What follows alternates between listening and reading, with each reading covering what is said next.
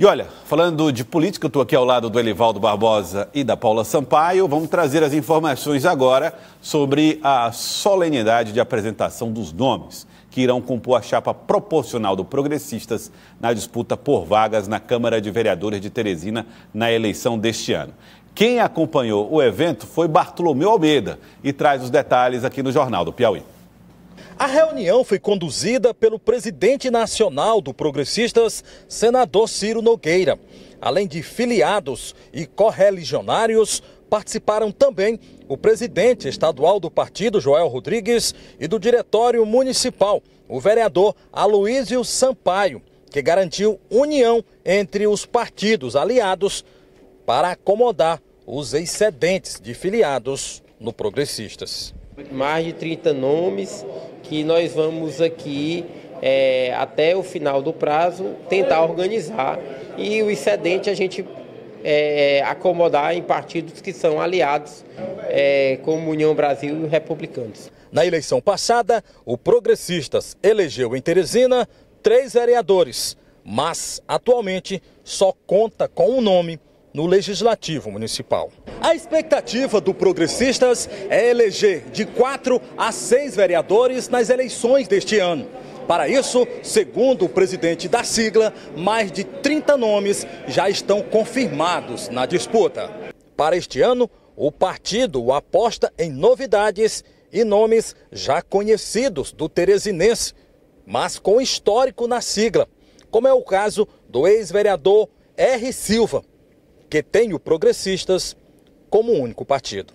Eu volto ouvindo as pessoas, tanto na zona urbana quanto na zona rural, e a partir do relato das pessoas, nós vamos direcionar o nosso trabalho é, daqui até o mês de outubro. Vou colocar o meu nome como pré-candidato a vereador de Teresina, pelo amor que eu tenho a Teresina, pelos projetos que nós temos em, em decorrentes de emendas parlamentares vai ser uma, é uma tribuna em sendo eleito que eu vou continuar insistindo por projetos estruturantes de Teresina e outros na área social, principalmente na educação, na saúde, desenvolvimento urbano, questão do emprego, etc. É uma série que tem uma contribuição a dar ainda à cidade de Teresina e, sobretudo, às pessoas do seu povo. O pré-candidato a prefeito de Teresina, Silvio Mendes, também participou da reunião. Silvio destacou a união das forças políticas dos partidos aliados. Nossa chapa está muito boa. Eu estou feliz com ela. Isso é consequência de vários passos dados. Primeiro, disseram que eu não era pré-candidato. Sou, por convicção, depois de refletir muito e ouvir muitos conselhos. Segundo, que a gente não tinha base partidária. Temos. Temos o suficiente. Sobre as críticas dos adversários, que numa provável gestão de Silvio, o município de Teresina não teria alinhamento nem com o governo do estado, nem com o federal. O pré-candidato cita gestões passadas. Quando eu fui prefeito, as grandes obras da cidade foram feitas eu no PSDB e o presidente da República era o Lula. Então nós fizemos o HUT, o Estado, o PT do Estado foi que não ajudou em nada, mas nós fizemos com a ajuda do Ministério da Saúde, presidente, o Lula. Fazer a ponte estaiada também, do mesmo jeito. Elivaldo Barbosa está aí, o Silvio Mendes participou do evento também, lá do Progressistas, ele que é o do União Brasil, é o pré-candidato a prefeito do grupo, e uh, é o Mano Ferrer, confirmando, ele que foi vice-prefeito de Teresina com Silvio, prefeito Silvio, agora, prefeito, né? anuncia sua candidatura, ou pré-candidatura a vereador em Teresina. Exatamente. Então, não é a primeira vez que um ex-prefeito disputa o mandato de vereador, é um mandato da maior relevância. Eu lembro bem que Firmino Filho, depois de ter sido eh, prefeito de Teresina duas vezes, foi candidato e foi muito bem votado na eleição de 2008, vereador de Teresina. Então, é humano foi senador até bem pouco tempo, tentou o mandato de deputado federal, não conseguia, embora tenha obtido um bom desempenho eleitoral em Teresina, e agora foi convencido a participar, a voltar à vida pública no Progressistas e disputar um mandato, uma vaga na Câmara Municipal. Daí, é, Paula, o, a, o Progressistas montando, né, formando um grupo forte para disputa, inclusive com o R. Silva voltando para a disputa para vereador, ele que foi candidato a vice-prefeito na eleição passada. Com Kleber Montezuma na eleição passada. E me chamou a atenção, Joelson, a presença do ex-prefeito Silvio Mendes, hoje pré-candidato a prefeito de Teresina, e vale chamar a atenção de que ele é do União Brasil, Sim. mas estava ali no evento do Progressistas, e eu acho que essa presença, ela é até simbólica, não é, Livaldo? Porque a formação da chapa proporcional de um partido é a formação também desse grupo que dará sustentação a essa pré-candidatura de Silvio Mendes durante essa campanha. E hoje, inclusive, eu apurei que Silvio confirmou que esse grupo da oposição que está com ele vai apresentar três chapas. A primeira é essa do Progressistas, que apresentou a sua chapa proporcional hoje, confirmando inclusive a, a que o, o ex-senador Eumano, Eumano Ferrer vai disputar também, a do União Brasil, que deve apresentar também uma chapinha, e a do Republicanos, que até o final da semana promete concluir também essa chapa proporcional aqui em Teresina. Então só aí são 90 candidatos, então já dá um volume, dimensão, estrutura a, a, chapa majoritária, por exemplo, né? 90 são três partidos, assim, do mesmo porte, assim, com mais atuação, inegavelmente, é o Progressistas, mas somado ao Republicanos e União Brasil, se apresentar as três chapas, 30 candidatos cada uma, terá 90 nomes aí disputando mandatos pela, no palanque de Silvio Mendes. Olha, ainda tem algumas questões ainda. Vocês, vocês estão falando aí dos partidos que Silvio já coloca ali no grupo, mas existem, existe a possibilidade de que outras siglas já formadas é, possam eventualmente se juntar a esse grupo? Por quê? Existem algumas dúvidas aí. Exemplo, o PSDB.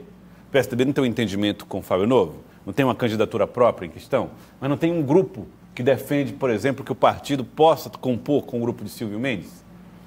Essa é uma decisão que ela vai ser mais clara até sábado? Eventualmente, ou não? O fato de ter janela partidária sábado também não é decisivo para que os partidos se movimentem de palanque a palanque, Paulo? Eu acredito que a formação ou a apresentação de uma chapa proporcional no PSDB pode ser um grande elemento para a gente descobrir essa resposta. Nesse momento, o que nós já é, vimos, não é, Livaldo, foi a apresentação de uma chapa proporcional por esse grupo que é mais ligado ao ex-prefeito Silvio Mendes. Mas até sábado muito pode, muito pode acontecer. É, a Federação PSDB Cidadania trabalha muito, muita intensidade no fechamento da chapa proporcional. Inclusive, é motivo para um entendimento ainda esta semana é, do, do pré-candidato João Vicente Claudino em Brasília, com a direção da federação, para acertar os detalhes da campanha, da estrutura, o que é que eles vão contar para essa campanha. acredito até que isso vai ser importante, vai influenciar no projeto majoritário do partido. Hoje, PSDB e Cidadania tem candidatura própria à Prefeitura de Teresina. Agora, é, a candidatura confirmada em, na convenção de julho, aí sim nós teríamos um quadro mais ou menos fechado na disputa eleitoral da capital. Mas hoje você pode até imaginar uma tendência, prefer... não tendo candidatura própria, qual seria a preferência dessa coalizão? Silvio Mendes, o palanque de Silvio Mendes. Mas hoje lá, o trabalho, o foco é o fortalecimento da, da candidatura é, majoritária de João Vicente Claudino a prefeito da capital. E o outro partido que eu queria colocar nessa conta e também nessa análise é o PL que é. o presidente da sigla deu uma declaração aqui no Jornal do Piauí que o partido vai estar com, com o doutor Pessoa, que, na verdade, ele disse o seguinte: se o partido me ouvir, o PL estará com o doutor Pessoa mas ele não bateu o martelo. Então o PL ainda pode passar por uma análise, uma decisão interna ali do partido, Lival. Isso vai ser muito definido durante essa semana, que é outro partido que está com dificuldades para a formação da chapa dos 30 nomes que disputarão mandatos na Câmara Municipal de Teresina. O desenrolar desses dias que seguem até sexta, sábado, que determinarão poderão determinar o futuro do PL nessas eleições. Mas vale hoje, vale o que disse pela última vez o vereador Leonardo Eulário, que é o PL é uma sigla da base aliada ao Palácio da Cidade, ao pré-candidato doutor Pessoa. Agora, a composição da chapa até agora, lá tem muitos pré-candidatos já afiliados simpáticos à pré-candidatura de Silvio Mendes. Isso é fato. Hoje tem quantos vereadores o PL? O PL é, tem um. Um só. Só o presidente. Leonardo Eulário, é. Leonardo. E é o partido que vai ter a maior estrutura de campanha nesse. É possível que amanhã, por exemplo, o vereador Luiz André, seja essa decisão, confirme filiação ao PL. Há uma expectativa para outros vereadores, né, Paula, que também possam se filiar. Até semana passada era para ir para o PL Neto do Angelim, é, é, a vereadora Terezinha Valdemir Medeiros. Valdemir Virgínio, mas de repente esses nomes já estão fora dos planos do PL. Vamos ver se amanhã retornarão ou não essa condição de prováveis filiados ao Partido Liberal. Muito bem. Olha, vamos falar ainda do Progressistas, porque depois desse evento em Teresina, o Progressistas teve um ato de filiações lá na cidade de Picos. Nós temos aí as imagens desse ato de filiação que aconteceu hoje pela manhã. É o grupo que é, é lá, né? O grupo de, do prefeito atual, o prefeito Gil, Gil Paraibano, Paraibano, né, que inclusive você está vendo aí fazendo os discursos. O ato aconteceu hoje pela manhã com a presença do presidente do Progressistas, o presidente Ciro Nogueira, senador Ciro, além de Joel, que é o atual presidente da sigla em nível estadual, né, Joel Rodrigues. Ele que foi candidato a senador nas últimas eleições, ex-prefeito da cidade de Floriano. Portanto, um ato bastante é, movimentado lá na cidade de Picos e o presidente do partido, o presidente nacional do progressista Ciro Nogueira, falou a respeito do ato de hoje. É uma alegria muito grande poder participar desse momento de filiação partidária, onde as pessoas estão chegando ao nosso partido, aos partidos coligados, para nos preparar para essa eleição tão importante para Picos e para o Brasil, que é essa eleição de 2024. Por tudo que nós fizemos, por tudo que nós pensamos em fazer pelo estado do Piauí, Acho que se tem um partido que teve uma parceria histórica com os municípios experientes, foram os progressistas. Nós, através do nosso mandato e dos nossos deputados federais, nós conseguimos transferir o maior volume de recursos da história do Estado. Elivaldo Barbosa e Paula, os progressistas têm um desafio no ano de 2024, né? Tenta, nas eleições municipais, tentar manter a sua força, o seu tamanho, é, quando os, os, grupos políticos ligados hoje, o Palácio de Karnak e até ao governo federal, né, Partido dos Trabalhadores, é, vivem um momento de alimentar uma onda de fortalecimento no interior. É, o, o, o Progressista sou o partido com melhor desempenho em relação ao número de prefeitos eleitos em 2020. É difícil manter essa mesma performance em 2024, admitida até mesmo por lideranças da sigla. Houve algumas baixas, mas o partido tem, mantém um núcleo é, bem capilarizado. E o caso de Picos é um desse exemplo, né? Está à frente da gestão e o atual prefeito, Gil Paraibano, é candidato à reeleição. E essa eleição de Picos, para o Progressistas, ele tem um caráter muito importante, porque é um dos casos da eleição municipal estadualizada. Né? Em alguns casos, isso fica bem nítido, de um confronto que existiu em 2022 no Estado ser reproduzido na eleição municipal. E Picos é um desses exemplos. Paula. É, Joelson, uma eleição ela não deixa de ser ligada a outra. E, eventualmente, em um campo hipotético, por exemplo, se o campo da oposição vencer aqui em Tesina, em cidades como Picos, Floriano, a eleição de 2026 ela é outra. Ela ganha um outro patamar. E se não vencer, é outra eleição também. O desafio pessoal também de Ciro Nogueira, Elivaldo Barbosa. Ele tem projetos para 2026, um pouco distantes até do Piauí, né? É. Projetos é, em âmbito nacional. Articula o partido em âmbito nacional, já já vai ter que se, de, se dedicar bastante à, à, federação que está sendo formada com republicanos, os planos para 2026 da mesma forma, até na possibilidade de compor uma chapa presidencial como vice. Enfim, Ciro Nogueira tem esses planos nacionais, mas não pode esquecer a base. A base, o estado de origem, que é o estado do Piauí, e o, a, o, desempenho do partido nas eleições municipais também é muito importante para o senador Ciro Nogueira neste ano de 2024. Lá em Picos, onde nós mostramos aí as imagens, o grupo ligado ao Partido dos Trabalhadores apoia o nome de Pablo Santos, do MDB, né? Então lá o MDB, PT estão juntos, é, Pablo Santos, o grupo de Nerinho, é, o ex-prefeito Zé Nery, Xandu Nery já está confirmada como pré-candidata a vice de Pablo Santos, né, Erivaldo? É, está sim. Xandu Nery já vai ser candidato a vice.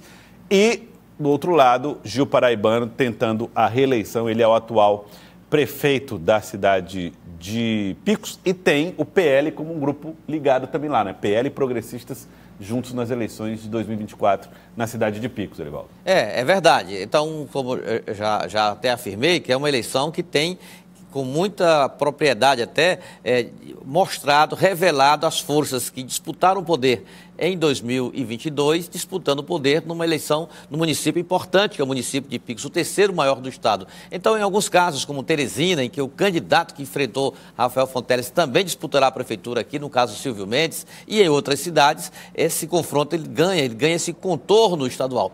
Picos, mesmo tendo lá uma candidatura de terceira via, mas inegavelmente é, a polarização ela já está acontecendo entre as forças que estão ali ah, nos, ao redor e, for, e do palanque palanque de Pablo Santos do MDB, tendo o PT como principal aliado, e na situação o prefeito Gil Paraibano do Progressistas buscando a reeleição.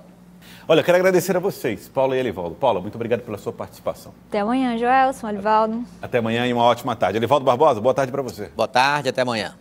Nós, do Jornal do Piauí, voltamos amanhã a partir das 11h45 da manhã. Um grande abraço a todos vocês. Até lá. Tchau, tchau.